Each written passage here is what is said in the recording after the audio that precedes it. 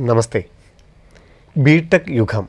അതായത് ഇപ്പോൾ plus two കഴിയുന്ന രണ്ടായിരത്തി ഇരുപത്തിനാലിൽ പ്ലസ് ടു കഴിയുന്ന വിദ്യാർത്ഥികളോ അല്ല ഇരുപത്തിമൂന്നിലോ ഇരുപത്തിരണ്ടിലോ ഒക്കെ പ്ലസ് ടു കഴിയുന്ന വിദ്യാർത്ഥികൾ അവരുടെ ജോലി സാധ്യതകൾ അല്ലെങ്കിൽ ഈ ഒരു ഇന്ത്യൻ എക്കണോമിയിലോട്ടൊക്കെ ഇറങ്ങേണ്ട ഒരു സമയമെന്ന് പറയുന്നത് രണ്ടായിരത്തി ഇരുപത്തെട്ട് മുപ്പത് കാലഘട്ടങ്ങളിലാണ് നമുക്കറിയാം. ടെക്നോളജിയുടെ ഏറ്റവും അപ്ഡേറ്റഡ് ആയിട്ടുള്ള കുറേയധികം വേർഷൻസ് ഇപ്പോൾ പറയുന്ന കമ്പ്യൂട്ടർ സയൻസ് എന്നും ഇലക്ട്രിക്കൽ എന്നും ഇലക്ട്രോണിക്സ് എന്നൊക്കെ പറയുന്നതിനപ്പുറത്ത് ഏറ്റവും അധികം മോഡേൺ ടെക്നോളജി ഉപയോഗിക്കേണ്ട ധാരാളം പ്രോഗ്രാമുകളും ജോലി സാധ്യതകളും ഒക്കെയാണ് നിലനിൽക്കുന്നത്. ഈ ബി ടെക് യുഗത്തിലേക്ക് നമുക്ക് സി യു ഇ ടിയും കടന്നു വരുന്നു. എന്തായിരിക്കാം സി യു ഇ ടി രണ്ടായിരത്തി ഇരുപത്തിനാലിലൂടെ നമുക്ക് തിരഞ്ഞെടുക്കാവുന്ന ബി ടെക് പ്രോഗ്രാമുകളും അതിന്റെ യൂണിവേഴ്സിറ്റികളെയുമാണ് ഇന്ന് നമുക്ക് പരിചയപ്പെടുത്താനായിട്ട് ജോബി സാർ എത്തിയിരിക്കുന്നത്. ആദ്യം ഈ സെഷനിലേക്ക് സാറിനെ എത്രയും സ്നേഹത്തോടെ സ്വാഗതം ചെയ്യുന്നു. നമസ്കാരം. സാർ ശരിയല്ലേ? രണ്ടായിരത്തി ഇരുപത്തിനാലിലൊക്കെ പ്ലസ് ടു കഴിയുന്ന വിദ്യാർത്ഥികൾ എനിക്ക് തോന്നുന്നു ഇരുപത്തെട്ട് ഇരുപത് മുപ്പത് കാലഘട്ടത്തിലാണ് ഈ ഒരു തൊഴിൽ മേഖലകളിലോട്ട് ഇറങ്ങേണ്ടത്. എനിക്ക് തോന്നുന്നു ശശി തരൂർ സാർ ഒരു ഒരു മീറ്റിങ്ങിൽ വളരെ വ്യക്തമായി പറയുണ്ടായിരുന്നു കാരണം രണ്ടായിരത്തി മുപ്പതിൽ എന്താണോ ഇന്ത്യയ്ക്ക് വേണ്ടത് അതിനു വേണ്ടിയിട്ടുള്ള ഒരു പ്രോഗ്രാമുകളോ ഒരു കോളേജുകളോ ഇപ്പോൾ ഇന്ത്യയിൽ ഉണ്ടോ? അല്ലെങ്കിൽ ആ രീതിയിൽ നമുക്ക് ടെക്നോളജി മാറ്റം ഉണ്ടോ എന്നൊക്കെ ഉള്ളത് പറഞ്ഞിട്ടുണ്ട്. ആ രീതിയിലൊക്കെ നോക്കുമ്പോൾ ടെക്നോളജിയുടെ ഇനിയുള്ളൊരു ഭാവി ഇപ്പം കമ്പ്യൂട്ടർ സയൻസിനൊക്കെ ഏറ്റവും ഡിമാൻഡുള്ള ഒരു കാലഘട്ടത്തിൽ എന്തായിരിക്കാം ടെക്നോളജിയുടെ അടുത്തൊരു ഡെവലപ്മെന്റ് എന്ന് നമുക്ക് പറയാനായിട്ട് സാധിക്കുന്നത്? അല്ലെങ്കിൽ അങ്ങനെ ഒരു ബ്രാഞ്ചിനെ ഫോക്കസ് ചെയ്യേണ്ടതായിട്ടുണ്ടോ? ടെക്നോളജി നമ്മളങ്ങനെ ബ്രാഞ്ചിനെ ഫോക്കസ് ചെയ്ത് ഇത്രയും കാലം നമ്മൾ അങ്ങനെ ആരും ചെയ്തുകൊണ്ടിരുന്നത്. കഴിഞ്ഞ ഒരു നാലഞ്ച് വർഷമായിട്ട് നമ്മൾ കമ്പ്യൂട്ടർ സയൻസ് റിലേറ്റഡ് അതിന് ഒരുപാട് ഉപവിഭാഗങ്ങൾ പിറന്നു. തീർച്ചയായും. അത് പ്രത്യേകിച്ച് പ്രൈവറ്റ് സെക്ടറിൽ ഞാൻ എടുത്തു പറയാൻ കാരണം നമ്മളെ ബോംബെ ഐ ഐ ടിയിലോ മദ്രാസ് ഐ ഐ ടിയിലോ ഡൽഹി ഐ ഐ ടിയിലോ ഈ ഇതുവരെ ഈ ഉപവിഭാഗങ്ങളൊന്നും ഉണ്ടായിട്ടില്ല. ഇല്ല. ബാക്കി ഉള്ള മേഖലകളിലൊക്കെയാണ് റോബോട്ടിക്കും സയൻസും എല്ലാം അപ്പോൾ അത് അതിന് മുൻപ് ഒരു കാലഘട്ടത്തിൽ നമ്മൾ ഇലക്ട്രോണിക്സ് കമ്മ്യൂണിക്കേഷൻ ആയിരുന്നു ഇലക്ട്രോണിക്സിനായിരുന്നു ഡിമാൻഡ് കൊടുത്തിരുന്നത്. അതിനു മുമ്പ് മെക്കാനിക്കലിനായിരുന്നു അപ്പോൾ അങ്ങനെ അങ്ങനെയൊക്കെയാണ് നമ്മൾ ഓരോ കാലഘട്ടത്തിനനുസരിച്ച് ഒരു ആറേഴ് വർഷം അനുസരിച്ച് ഇത് മാറിക്കൊണ്ടിരിക്കുന്നത്. പക്ഷെ ഇനിയിപ്പം അതിന്റെയൊക്കെ ഒരു കാലം അവസാനിച്ചു. ഇന്റഗ്രേഷനാണ് അതായത് ഈ electronics integration with computer science അത് വളരെ അത്യാവശ്യമാണ്. അപ്പോൾ ഇന്റർ ഡിസിപ്ലിനറി ആയിട്ട് വേണം ഈ ബ്രാഞ്ചുകൾ തമ്മിൽ കൂട്ടിയിണക്കിക്കൊണ്ട് പഠിക്കാനായിട്ട്. ഓക്കെ. അപ്പോൾ അങ്ങനെയുള്ളതിന് മാത്രമേ നിലനിൽപ്പുള്ളൂ. കാരണം നമുക്കറിയാം ഈ കമ്പ്യൂട്ടർ സയൻസിന് ഇത്രമേൽ പ്രാധാന്യം ഉണ്ടായത് സോഫ്റ്റ്വെയർ സെക്ടറിൽ ജോലി കിട്ടുന്ന കുട്ടികളുടെ എണ്ണം. ഇപ്പോൾ ഓരോ കോളേജും പ്ലേസ്മെന്റ് കാണിക്കുമ്പം ആ പ്ലേസ്മെന്റിൽ നിന്ന് വളരെ ഉയർന്ന ഒരു ശതമാനം. ഇപ്പം നാനൂറ് കുട്ടികൾക്ക് ജോലി കിട്ടുന്നുണ്ടെങ്കിൽ ഒരുപക്ഷെ അതിനകത്തൊരു മുന്നൂറ്റി അമ്പത് മുന്നൂറ്റി അറുപത് കുട്ടികളും ഐ ടി സെക്ടറിലേക്കാണ് ജോലി അവർക്ക് കിട്ടിയിരുന്നത്. അപ്പോൾ അവിടെ പ്രോഗ്രാമിങ് അല്ലെങ്കിൽ കോഡിംഗ് ആണ് കുട്ടികൾ ആ ഒരു മേഖലയിലേക്കാണ് ജോലി വന്നുകൊണ്ടിരുന്നത്. പക്ഷേ എ ഐ ഇപ്പോൾ അങ്ങോട്ടൂടെ കടന്നു കയറിയിരിക്കുന്ന സ്ഥിതിക്ക് അത് നമുക്ക് അത് മാത്രം വിശ്വസിച്ചുകൊണ്ട് അല്ലെങ്കിൽ ഐ ടി സെക്ടറിലെ ജോലി മാത്രം മുന്നിൽ കണ്ടുകൊണ്ട് മുന്നോട്ട് പോകാനാവില്ല. ഏറ്റവും പ്രധാനപ്പെട്ട കാര്യമാണ്. കാരണം ബിടെക് നമ്മൾ തിരഞ്ഞെടുക്കുമ്പോൾ ഈ ഒരു മേഖല മാത്രം മുന്നിൽ കണ്ടുകൊണ്ട് നമ്മൾ സബ്ജക്റ്റ് തിരഞ്ഞെടുക്കരുത്. ഇല്ല. അപ്പോൾ ഇപ്പോഴത്തെ ഒരു രീതിയിൽ നമുക്ക് ഈ പ്രസന്റ് സെനാറിയോയിൽ നമുക്ക് പറയാവുന്ന ഒരു ബ്രാഞ്ച് എന്ന് പറയുന്നത് ഇലക്ട്രോണിക്സ് ആൻഡ് കമ്മ്യൂണിക്കേഷനാണ് കാരണം നമുക്ക് ഇന്ത്യയെ സംബന്ധിച്ച് സെമി കണ്ടക്ടർ ഇൻഡസ്ട്രിയിൽ വലിയൊരു കുതിച്ചുചാട്ടം ഈ റീസെന്റ് ആയിട്ട് നമ്മൾ നടത്തിയിരിക്കുകയാണ്. അപ്പോൾ അതുകൊണ്ട് അതിന്റെ ഒരു ഇമ്പാക്റ്റ് നമുക്ക് ഉണ്ടാകണമെങ്കിൽ തീർച്ചയായിട്ടും ആ രീതിയിലുള്ള തൊഴിൽ മേഖലകളിൽ നമുക്ക് ഈ ഒരു ഇരുപത്തെട്ടോട് കൂടി തീർച്ചയായിട്ടും നല്ല സാധ്യതകൾ ഉണ്ടാവും. അപ്പോൾ അത് മനസ്സിലാക്കിക്കൊണ്ട് കമ്പ്യൂട്ടർ സയൻസ് അല്ലെങ്കിൽ നമുക്ക് സോഫ്റ്റ്വെയർ നോളജ് വേണ്ട എന്നുള്ളതല്ല പ്രോഗ്രാമിങ് അത്യാവശ്യം പഠിച്ചിരിക്കണം. അത് പ്രോഗ്രാമിംഗ് ലാംഗ്വേജസ് പഠിക്കാതെ മുന്നോട്ട് പോകാനാവില്ല. അപ്പോൾ അത് അത് പഠിക്കുക അതോടൊപ്പം തന്നെ ഈ ഒരു കോർ ബ്രാഞ്ച് പ്രത്യേകിച്ച് ഇലക്ട്രോണിക്സ് ഇലക്ട്രിക്കൽ പോലെയുള്ള ബ്രാഞ്ചുകളിൽ നിന്നുകൊണ്ട് ഈ കമ്പ്യൂട്ടർ നോളജും കൂടെ അക്വയർ ചെയ്ത് പോകുന്ന കുട്ടികൾക്കായിരിക്കും സാധ്യത ഉണ്ടാവുക എന്ന് നമുക്ക് പറയാൻ പറ്റും. തീർച്ചയായും ഇനി അതുപോലെ തന്നെ നമുക്ക് ഒരു തൊഴിൽ മാത്രം ഫോക്കസ് ചെയ്യുന്നവരുടെ എണ്ണവും കുറവാവില്ലേ? കാരണം ഒരു നാലഞ്ച് വർഷത്തിനുള്ളിൽ എപ്പോഴും അപ്ഡേറ്റ് ആയിട്ട് നിൽക്കേണ്ട ഒരു സാധ്യതയും അതും കൂടെ സാധ്യത കണ്ടുപിടിക്കേണ്ടതല്ലേ? അത് ഇപ്പോൾ തന്നെ അങ്ങനെ ആരംഭിച്ചു കഴിഞ്ഞു.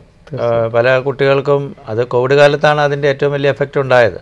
ഒരു മിഡിൽ ഏജിലുള്ളവർക്ക് പലർക്കും ജോലി നഷ്ടപ്പെടാനുള്ള കാരണം അവർക്ക് ഈ പറയുന്ന സ്കില്ല് അപ്ഡേഷൻ പറ്റാതെ വന്നുകൊണ്ട് ആണ് അങ്ങനെ സംഭവിച്ചത്. ഇപ്പോഴത് നല്ല രീതിയിൽ നടക്കുന്നുണ്ട്. സ്കില്ല് അപ്ഡേറ്റ് ചെയ്യാൻ പറ്റുന്നില്ല എങ്കിൽ കമ്പനി നമ്മളെ പതുക്കെ നമുക്ക് ജോലി നമ്മുടെ കയ്യിൽ നിന്ന് ജോലി എടുത്തു മാറ്റി നമ്മളെക്കാളും അറിയാവുന്ന നന്നായിട്ട് ചെയ്യുന്ന ആളുകളെ ഏൽപ്പിക്കും. അപ്പോൾ സ്വാഭാവികമായിട്ട് നമ്മൾ പുറത്തേക്ക് ഉള്ള വഴി എന്നുള്ള രീതിയിൽ അങ്ങനെ കാണേണ്ട വരും. അപ്പോൾ ആ ഒരു രീതിയിലേക്ക് കാര്യങ്ങൾ പോകുന്നു. അപ്പോൾ ഏത് മേഖലയാണെങ്കിലും അപ്പോൾ നമ്മളിങ്ങനെ ഇന്റഗ്രേറ്റഡ് ആയിട്ട് അല്ലെങ്കിൽ ഇന്റർ ഡിസിപ്ലിനറി ആയിട്ടൊക്കെ നമ്മൾ കാര്യങ്ങളെ പഠിക്കുന്ന കാലത്ത് തന്നെ നമുക്ക് ചെയ്യാൻ പറ്റുകയാണെങ്കിൽ അതുപോലെ തന്നെ സോഫ്റ്റ് സ്കിൽസും ഒക്കെ ഡെവലപ്പ് ചെയ്യുന്നു. അങ്ങനെയൊക്കെ നമുക്ക് പോവുകയാണെങ്കിൽ ഒരു ഷിഫ്റ്റിംഗ് വലിയൊരു ബുദ്ധിമുട്ടായിരിക്കില്ല. അല്ലെങ്കിൽ നമ്മളിങ്ങനെ ഒരു പർട്ടിക്കുലർ ഏരിയ മാത്രം ഫോക്കസ് ചെയ്ത് പോയി കഴിഞ്ഞാൽ ഷിഫ്റ്റിംഗ് എന്ന് പറയുന്നത് അത്ര ഈസി ആയിട്ടുള്ളൊരു കാര്യമാകില്ല തീർച്ചയായിട്ടും. കാരണം ഇനി നമുക്ക് പണ്ടത്തെ പോലെ ഒരു ജോലി അല്ലെങ്കിൽ ഒരു ഒറ്റ കസേരയിൽ ഇരുന്നുകൊണ്ട് നമ്മുടെ ജീവിതകാലത്ത് മുഴുവൻ നമ്മൾ നേട്ടങ്ങൾ നേടാമെന്ന് ഒരിക്കലും വിചാരിക്കുകയും ചെയ്യരുത്. അപ്പം അതിനനുസരിച്ച് അപ്ഡേറ്റ് ആവാനുള്ള ഒരു മേഖലയും കൂടെ നമുക്ക് മുമ്പിൽ കണ്ടെത്തണം. ഇതിനെല്ലാമുള്ള ധാരാളം സാധ്യതകൾ നമുക്ക് മുമ്പിലുണ്ട്.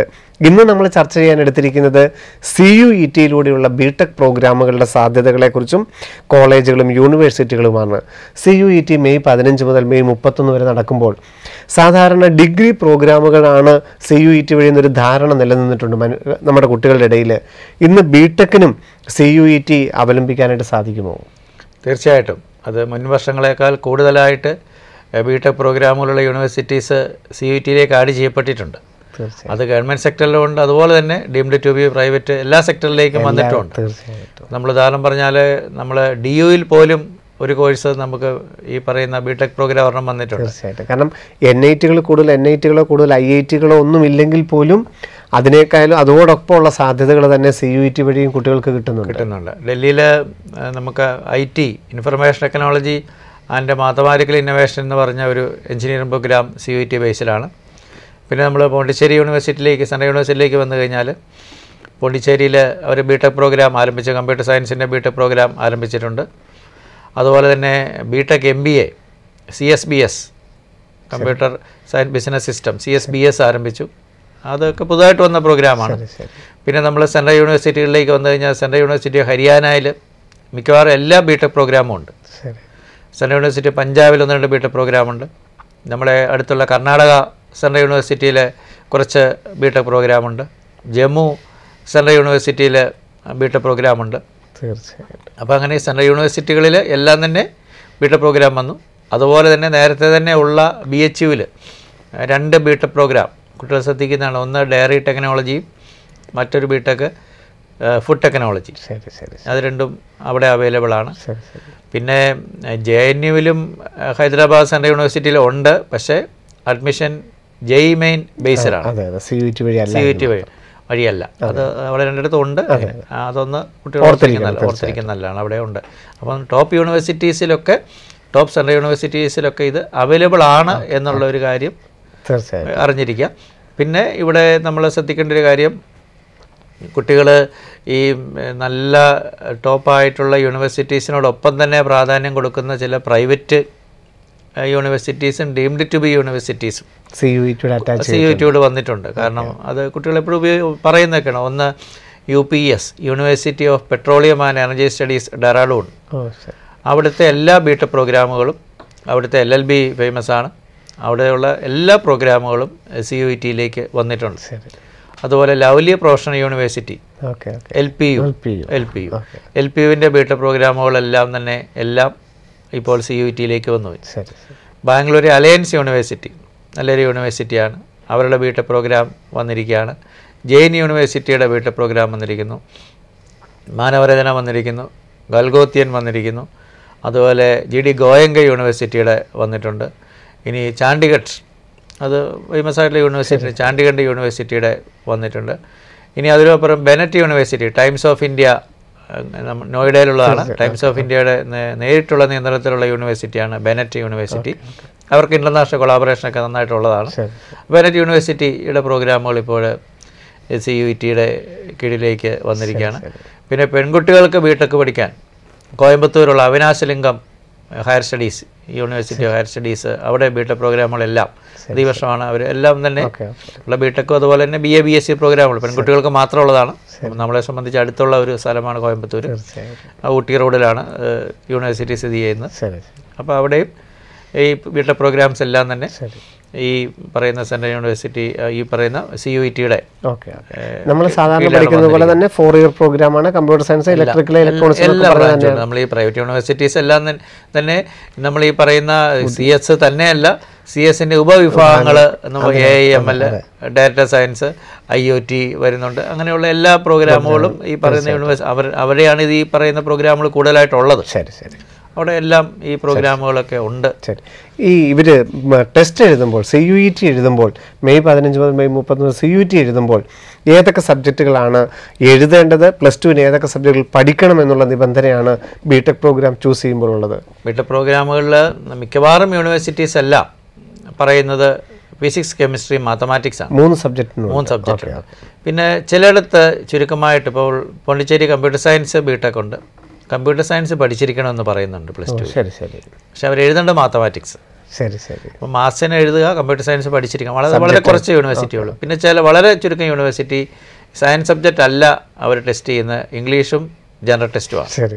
അങ്ങനെയുണ്ട് പക്ഷെ പഠിച്ചിരിക്കേണ്ടത് പ്ലസ് ടുവിൽ ഫിസിക്സ് കെമിസ്ട്രി മാത്തമാറ്റിക്സ് പഠിക്കണം. അത് ഫിസിക്സ് കെമിസ്ട്രി മാസ് ബയോളജി ആകാം മാസ് കമ്പ്യൂട്ടർ ആകാം. ഓക്കെ. അപ്പോൾ പി സി എം എന്നുള്ള രീതിയിലാണ് മിക്കവാറും യൂണിവേഴ്സിറ്റീസ് എന്താണെങ്കിലും മാത്തമാറ്റിക്സിന് സപ്പോർട്ട് വേണം. മാത്സ് ഉണ്ടാവണം. കാരണം എഞ്ചിനീയറിംഗ് ആകുമ്പോൾ തീർച്ചയായിട്ടും മാത്സ് വേണം. ഈ ഫുഡ് ടെക്നോളജി ഡയറക്ട് ടെക്നോളജി നമ്മളെ ബി എച്ച് യു പറയുന്നത്. ബി എച്ച് യുവിൽ നമുക്ക് വേണമെങ്കിൽ മാത്സ് ആകാം ബയോളജി ബയോളജി ആകാമെന്ന് മാത്രമേ ഉള്ളൂ. ബാക്കി എല്ലായിടത്തും പി സി എം വെച്ചിട്ട് തന്നെയാണ് കൂടുതൽ പ്രോഗ്രാം അങ്ങനെയാണല്ലോ. തീർച്ചയായിട്ടും തീർച്ചയായിട്ടും. ഐ സി ആറിലും അഗ്രികൾച്ചർ യൂണിവേഴ്സിറ്റിയിലും ബയോടെക്നോളജിയോ അഗ്രികൾച്ചർ എഞ്ചിനീയറിങ്ങോ ഫിഷറീസോ ഫോറസ്ട്രിയോ അല്ലെങ്കിൽ ഫുഡ് ടെക്നോളജിയോ ഒക്കെ എടുക്കണമെങ്കിൽ പി സി എം വെച്ചിട്ടോ പി സി ബി വെച്ചിട്ടോ നമുക്ക് എടുക്കാനായിട്ട് സാധിക്കും. അപ്പോൾ നമ്മുടെ കുട്ടികളെ ജെയ് മെയിൻ അല്ലെങ്കിൽ JEE Advanced Kerala engineering CUSAT ഒക്കെ നോക്കി നമ്മൾ ഫിസിക്സ് കെമിസ്ട്രി മാത്തമാറ്റിക്സ് നല്ല രീതിയിൽ അവർ പരിശീലനം നേടിയിട്ടുമുണ്ട്. അപ്പോൾ ഇവർക്ക് ഈ സി യു ഇ ടി വഴി ഇതുപോലൊരു സെൻട്രൽ യൂണിവേഴ്സിറ്റിയിൽ ബി ടെക് പ്രോഗ്രാം എന്ന് പറയുന്നത് അത്ര ദുഷ്കരമായൊരു ഇതായിരിക്കില്ല. കാരണം ഏറ്റവും എളുപ്പത്തിൽ തന്നെ സെൻട്രൽ യൂണിവേഴ്സിറ്റിയിൽ വേണമെങ്കിൽ ഒരു ബി ടെക് പ്രോഗ്രാം സെലക്ട് ചെയ്യാനായിട്ട് സാധിക്കും. തീർച്ചയായിട്ടും. അപ്പോൾ അവരവിടെ ശ്രദ്ധിക്കേണ്ടത് നമ്മൾ ഇതിനകത്ത് നമ്മളിപ്പോൾ ഇന്നിപ്പം നമ്മൾ ലിസ്റ്റ് ഔട്ട് ചെയ്തതിനകത്ത് ആദ്യത്തെ സെൻട്രൽ യൂണിവേഴ്സിറ്റീസ് ആണ് ആക്ച്വൽ തീർച്ചയായും ഗവൺമെന്റിന്റെ കീഴിൽ വരുന്നത് വരുന്ന അതെ ഡയറക്ടർ ഡയറക്ട് സെൻട്രൽ യൂണിവേഴ്സിറ്റീസ്. അവിടുത്തെ ഒരു ഫീസ് സ്ട്രക്ചർ നമുക്ക് തീർച്ചയായിട്ടും അഫോർഡ് ചെയ്യാവുന്ന ഒരു ഫീസ് സ്ട്രക്ചറായിരിക്കും. ഒരു പക്ഷേ നമ്മുടെ നാട്ടിലെ സെൽഫ് ഫിനാൻസിങ് കോളേജുകളെക്കാളും കുറഞ്ഞ ഒരു ഫീസ് സ്ട്രക്ചറിൽ അല്പം കൂടി എക്സ്പോഷറിലൊക്കെ നമുക്ക് പഠിക്കാൻ പറ്റും. പക്ഷേ പ്രൈവറ്റ് യൂണിവേഴ്സിറ്റീസിലേക്ക് വരുമ്പം വലിയൊരു വേരിയേഷൻ അവിടെ നമുക്ക് കാണാനും പറ്റും. അതുകൊണ്ട് വളരെ ആലോചിച്ച് വേണം നമ്മൾ ഡിസിഷൻ എടുക്കാൻ. യൂണിവേഴ്സിറ്റിയും കൂടെ നമ്മൾ നോക്കി കോളേജുകളെ കുറിച്ചും പഠിക്കണം. നമുക്ക് നമ്മുടെ നാട്ടിലുള്ള കോളേജുകളെ കുറിച്ച് നമുക്കൊരു ഐഡിയ ഉണ്ട്. നമ്മുടെ പല കോളേജും വളരെ നല്ല രീതിയിൽ പോകുന്ന കോളേജസ് ഉണ്ട്. അത് എൻ ഐ ടി ലെവലിലും അതിന് താഴെ സ്റ്റേറ്റിലൊക്കെ ആണെങ്കിലും ഗവൺമെന്റ് കോളേജസും ഒക്കെ നമുക്ക് അറിയാവുന്നുണ്ട് അപ്പോൾ അതുമായിട്ടും അതും ഇവിടുത്തെ അവിടെ എക്സ്പോഷർ വൈസും അതുപോലെ ഫീസ് സ്ട്രക്ചർ ഇതിനകത്ത് വലിയൊരു കാര്യമാണ്. കാരണം ഒരു നാല് വർഷം പഠിക്കുമ്പോൾ ലക്ഷങ്ങളുടെ വ്യത്യാസം എമൗണ്ടുകൾ തമ്മിലുണ്ടാകുമ്പോൾ തീർച്ചയായിട്ടും അത് പരിഗണിക്കുക തന്നെ വേണം. തീർച്ചയായിട്ടും. അപ്പോൾ ആ രീതിയിൽ അതുകൂടെ ഒന്ന് പരിഗണിച്ചിട്ട് വേണം. സി വഴി മ- വരും വർഷങ്ങൾ ഇനിയും പുതുതായിട്ട് തീർച്ചയായിട്ടും. ഒരു പക്ഷേ ഒരു കാലഘട്ടത്തിൽ നീറ്റ് ജെയ് മെയിൻ പോലും ജെയ് അഡ്വാൻസ്ഡ് ഒഴികെയുള്ള എല്ലാ പ്രവേശന പരീക്ഷകളും സി യു ഇ ടിയിലേക്ക് വരുന്ന ഒരു കാലഘട്ടം അതിവിദൂരമല്ല എന്ന് നമുക്ക് പറയേണ്ടിയിരിക്കും. നാലഞ്ച് വർഷത്തിനുള്ളിൽ വരില്ലായിരിക്കാം. പക്ഷേ സി യു ഇ ടിയുമായിട്ട് എല്ലാവരും തന്നെ കൈകോർക്കുന്നതാണ് നമുക്ക് കാണാനായിട്ട് സാധിക്കുന്നത്. കാരണം അതിന്റെ പാറ്റേൺ അവർ ആദ്യം തന്നെ അതിന്റെ ഫോർമാറ്റ് തയ്യാറാക്കിയിരുന്നു കൃത്യമായിട്ടും എല്ലാ പരീക്ഷകളെയും എല്ലാ അഡ്മിഷനുകളെയും ഏകീകരിക്കുന്ന രീതിയിൽ തന്നെയാണ് വന്നിരിക്കുന്നത്. അതുകൊണ്ട് നമ്മൾ പ്ലസ് വൺ പ്ലസ് ടു പഠിച്ച സബ്ജക്റ്റ് ഫിസിക്സ് കെമിസ്ട്രി മാത്സ് അതുപോലെ തന്നെ ഇംഗ്ലീഷ് ജനറൽ ടെസ്റ്റ് അത്രയും നമ്മൾ സബ്ജക്റ്റ് ചൂസ് ചെയ്യുകയാണെങ്കിൽ ജൂൺ മുപ്പതാം തീയതി സി യു ടി റിസൾട്ട് പ്രഖ്യാപിച്ചതിന് ശേഷം ആ സമയത്ത് നമുക്ക് ജെയ് മെയിന്റെ റിസൾട്ടുണ്ട് ജെയ് അഡ്വാൻസ്ഡിന്റെ റിസൾട്ടുണ്ട് കേരള എഞ്ചിനീയറിംഗ് കുസാറ്റ് ഇനി മെഡിക്കൽ പ്രൊഫഷനൊക്കെ നോക്കുന്നവർക്ക് അതിന്റെ റിസൾട്ടുകളൊക്കെ വന്നിട്ടുണ്ട്. അപ്പം ഏറ്റവും നല്ലൊരു കോഴ്സ് തിരഞ്ഞെടുക്കാനായിട്ട് യാതൊരു പരിഭ്രമവും ഇല്ലാതെ അവനവന്റെ കയ്യിൽ ഒതുങ്ങുന്ന ആ കുടുംബത്തിന്റെ കയ്യിൽ ഒതുങ്ങുന്ന ഫീസ് സ്ട്രക്ചറിൽ ഒരു കോഴ്സ് തിരഞ്ഞെടുക്കാനായിട്ട് സി യു ടി രണ്ടായിരത്തി ഇരുപത്തിനാല് ഏറ്റവും വലിയൊരു ഉപകാരമാണ് ഓരോ കുടുംബത്തിനും. അതുകൊണ്ട് ഇതുവരെയും നിങ്ങൾ അപ്ലൈ ചെയ്തിട്ടില്ലെങ്കിൽ ഇരുപത്തിയാറാം തീയതി ആണ് നോർമലായിട്ട് ആപ്ലിക്കേഷൻ തീരുന്നതെങ്കിലും വീണ്ടും ആപ്ലിക്കേഷൻ ഡേറ്റ് എക്സ്റ്റെൻഡ് ചെയ്യും. വീണ്ടും യൂണിവേഴ്സിറ്റികളും സബ്ജക്റ്റുകളും ആഡ് ചെയ്യാനുള്ള സമയം വരുന്നുണ്ട്. അതുകൊണ്ട് എല്ലാ വിദ്യാർത്ഥികളും സി യു ഇ ടിക്ക് അപ്ലൈ ചെയ്യുകയും അവർ പ്ലസ് ടു പഠിച്ച സബ്ജക്റ്റുകൾ physics chemistry mathematics English general test biology പഠിച്ചിട്ടുണ്ടെങ്കിൽ അത് ബയോളജിക്ക് പകരം കമ്പ്യൂട്ടർ സയൻസ് ആണെങ്കിൽ കമ്പ്യൂട്ടർ സയൻസ് അത് പരീക്ഷയായിട്ട് എഴുതണം എന്നില്ലെന്ന് തോന്നുന്നു. പഠിച്ചിരിക്കണമെന്നേ നിർബന്ധമുള്ളൂ എന്ന് തോന്നുന്നു. ഒന്ന് രണ്ട് സ്ഥലങ്ങളിൽ കമ്പ്യൂട്ടർ സയൻസ് എക്സാം എക്സാമും പറയുന്നു എഞ്ചിനീയറിംഗിന് വലിയ പ്രശ്നമില്ല. ബി സി ആയോ എഴുതിയില്ലെങ്കിലും പ്രശ്നമില്ല. മാത്സ് നിർബന്ധമായിട്ട് അപ്പം അങ്ങനെ നിങ്ങൾ പ്ലസ് ടുവിന് പഠിച്ച സബ്ജക്റ്റുകൾ ചൂസ് ചെയ്തുകൊണ്ട് മെയ് പതിനഞ്ച് മുതൽ മെയ് മുപ്പത്തിയൊന്ന് വരെ നടക്കുന്ന ഈ സി യു ഇ ടിയിൽ എല്ലാവരും താങ്കൾ പരീക്ഷ എഴുതുന്നതാണ് ഏറ്റവും നല്ലത്. കാരണം മലയാളികൾ മാറി നിൽക്കാൻ പാടില്ല. നാഷണൽ ലെവൽ പരീക്ഷകളിൽ ഏറ്റവും കൂടുതൽ നമ്മൾ ഈ കേരളം എന്ന കംഫോർട്ട് സോണിന് അപ്പുറത്ത് നമുക്ക് ഈ സെൻട്രൽ യൂണിവേഴ്സിറ്റികൾ വഴി വലിയൊരു സാധ്യതകളാണ് നിലനിൽക്കുന്നത്. രണ്ടായിരത്തി ഇരുപത്തെട്ട് മുപ്പത് കാലഘട്ടത്തിൽ ബിടെക് പ്രോഗ്രാമുകളിലൂടെ ഒരു ജോലി സാധ്യതയും അല്ലെങ്കിൽ ഹയർ എഡ്യൂക്കേഷൻ സാധ്യതകളും ഒക്കെ നമുക്ക് നിലനിൽക്കുകയും ചെയ്യുന്നുണ്ട്. സി യു ടിയുടെ പി ജി പ്രോഗ്രാമുകളിലൂടെ നമുക്ക് ഹയർ എഡ്യൂക്കേഷൻ സാധ്യതകൾ നോക്കുവാണെങ്കിലും തീർച്ചയായിട്ടും അതിലോട്ട് പോകാനായിട്ടും ഈ പിന്നെ തീർച്ചയായിട്ടും സി യു ടി ഇതുപോലെ തന്നെ പി ജി ഉണ്ട്. പി ജി ആകുമ്പോൾ നമുക്ക് ഈ യൂണിവേഴ്സിറ്റിയുടെ ഒക്കെ യൂണിവേഴ്സിറ്റികളിലൊക്കെ തന്നെ ഈ നമ്മൾ ഈ പഠിക്കുന്ന സബ്ജക്റ്റ് തന്നെ അല്ലെങ്കിൽ അവിടെ നിന്ന് ഒരു ഷിഫ്റ്റിങ് ബ്രോഡായിട്ടുള്ള അല്ലെങ്കിൽ ഓപ്ഷൻസ് കൂടിയ ഒരു സബ്ജക്റ്റ് ഇപ്പോൾ ഫിസിക്സോ കെമിസ്ട്രിയൊക്കെ പഠിക്കുകയാണെങ്കിൽ അതിൽ നിന്ന് നമുക്ക് സ്പെഷ്യലൈസ് ചെയ്തുകൊണ്ട് പി ജി പ്രോഗ്രാമുകളൊക്കെ ചെയ്യാനുള്ള അവസരങ്ങളുണ്ട്. തീർച്ചയായിട്ടും. അപ്പം നമുക്ക് സബ്ജക്റ്റുകൾ പഠിക്കുവാനായിട്ടോ അല്ലെങ്കിൽ ഇനി ബിടെക് പ്രോഗ്രാം പഠിക്കുവാനായിട്ടോ ഏറ്റവും നല്ല സാധ്യതകളാണ് സി യു ടി രണ്ടായിരത്തി ഇരുപത്തിനാല് നിങ്ങൾക്ക് പ്രദാനം ചെയ്യുന്നത്. അതുകൊണ്ട് ഈ വർഷം നിങ്ങൾക്ക് എൻട്രൻസിന് വേണ്ടിയിട്ട് തയ്യാറെടുക്കുന്ന വിദ്യാർത്ഥികൾ അത് മെഡിക്കൽ ആണെങ്കിലും എഞ്ചിനീയറിംഗിലാണെങ്കിലും ആ മേഖലയിൽ തയ്യാറെടുക്കുന്ന കുട്ടികൾക്ക് ഏറ്റവും വലിയ സാധ്യതകൾ തന്നെയാണ് സി യു ഇ ടി എന്നുള്ളത്. വ്യക്തമാകുകയാണ്. അപ്പോൾ ഇത്രയും നേരം നമ്മളോട് ഈ പ്രോ ബി ടെക് പ്രോഗ്രാമുകളുടെ യൂണിവേഴ്സിറ്റികളെക്കുറിച്ചും അതിന്റെ കോഴ്സുകളെക്കുറിച്ചും നമുക്ക് പറഞ്ഞു തന്ന ജോബി സാറിന് ബ്രില്യൻ ഫാമിലിയുടെ പേരിൽ ഹൃദയംഗമായ നന്ദി അറിയിക്കുന്നു. നമുക്ക് വീണ്ടും കാണാം. സി യു ഇ ടിയുടെ സാധ്യതകൾ ജൂൺ മുപ്പതാം തീയതിയാണ് റിസൾട്ട് വരുന്നത്. സി യു ഇ ടിയുടെ പേഴ്സന്റേജ് സ്കോർ വരുന്നത്. അതിനുശേഷം നിങ്ങൾ ഓരോ യൂണിവേഴ്സിറ്റികളിലും സെപ്പറേറ്റ് അപ്ലൈ ചെയ്യേണ്ടതായിട്ടുണ്ട് അല്ലേ? നമ്മളിവർ സി യു ഇ ടി എഴുതിയെന്ന് പറഞ്ഞിട്ട് മാത്രം നിങ്ങൾക്ക് ഒരു അഡ്മിഷൻ അല്ല കിട്ടുന്നത്. ജൂൺ മുപ്പതിന് ശേഷം നിങ്ങൾ ഈ പറയുന്ന എവിടെയൊക്കെയാണോ നിങ്ങൾ അപ്ലൈ ചെയ്തിരിക്കുന്നത് അവിടെ നിങ്ങൾക്ക് താല്പര്യമുള്ള യൂണിവേഴ്സിറ്റികളിലൊക്കെ നിങ്ങൾ പ്രത്യേകം പ്രത്യേകം അപേക്ഷ കൊടുക്കേണ്ടതായിട്ടുണ്ട്. അവിടെ നമുക്ക് ഡൽഹി യൂണിവേഴ്സിറ്റിയൊക്കെ ആണെങ്കിൽ കോളേജുകൾ തന്നെ നമ്മൾ സെലക്ട് ചെയ്ത് ഓപ്ഷൻ കൊടുക്കേണ്ടതായിട്ടുണ്ട്. അതൊക്കെ ആയിട്ട് ജോബി സാർ വ്യക്തമായിട്ട് കോഴ്സുകളെക്കുറിച്ചും കോളേജുകളെക്കുറിച്ചും ഒക്കെ ആ സമയത്ത് നമ്മളുമായിട്ടൊരു അതിന്റെ എക്സ്പീരിയൻസ് പങ്കുവെക്കുന്നതാണ്. ഞങ്ങളെ കേട്ടുകൊണ്ടിരുന്ന എല്ലാവർക്കും നന്ദി. എൻട്രൻസ് സംബന്ധമായ വാർത്തകളും അപ്ഡേഷനുകളും ഏറ്റവും വേഗം ആധികാരികമായി അറിയാൻ Brilliant Study Centre Pala YouTube channel subscribe ചെയ്യുക. ബെല്ലൈക്കൺ അമർത്തുക. ഈ വീഡിയോ മറ്റ് സുഹൃത്തുക്കളിലേക്കും ഷെയർ ചെയ്ത് നൽകുക.